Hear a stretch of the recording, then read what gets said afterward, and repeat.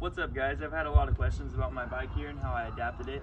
Um, this here is my hand back brake, which is ran straight to, uh, on a cable, straight to my stock lever. We had to grind down a little bit, I'll show you that in a minute. I got the stock battery here because it's a 2018, and then I got the on-off switch, that way my Pingel shifter's not draining the battery at all times. Um, the electric start button's right here. Uh, you hold this down for five seconds. Come over here. Hold this down for five seconds pulling the clutch, you can go down, up, all that.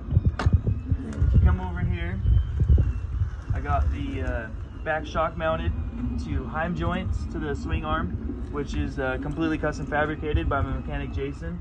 Um, this is the aux back brake adapter, which I had to grind down so that my foot could fit in here. I got my feet that slide in here, little plates on the back. That way my foot slides in perfectly and never falls out. And um, yeah, that's about it.